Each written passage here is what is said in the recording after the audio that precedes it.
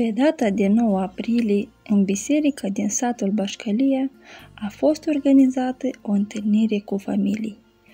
Tema principală a acestei sări a fost dragostea necondiționată, familie fericită.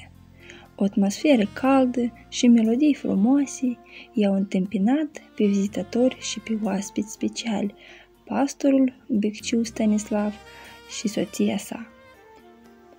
Membrii bisericii au străduit ca acest program să nu treacă monoton și au pregătit bucate gustoase pentru oaspeți, pentru că seara aceasta se predispuie pe toți să se simte mai liberi, să se simte ca acasă, ca într-o familie, la care suntem chemați toți de bunul nostru Isus Hristos.